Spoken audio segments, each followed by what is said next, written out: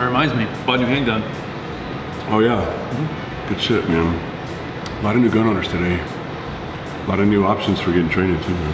Eh, I'm military, I'm good.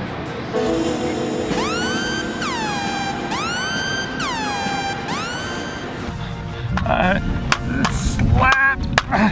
Uh, it's, uh, tap. Uh, oh, God. Drop, maybe?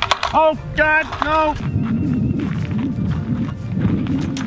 Listen, contrary to popular belief, majority of people who served in the military, they shot a rifle once, maybe twice a year.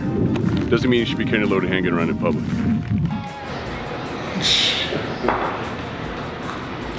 Hey, in all seriousness, even most combat arms guys didn't spend a lot of time running their handguns. And we certainly didn't do a lot of drop fire exercises. Look, we're all about you practicing your Second Amendment rights, but with that comes a lot of responsibility. So make sure you run your drills, not your mouth.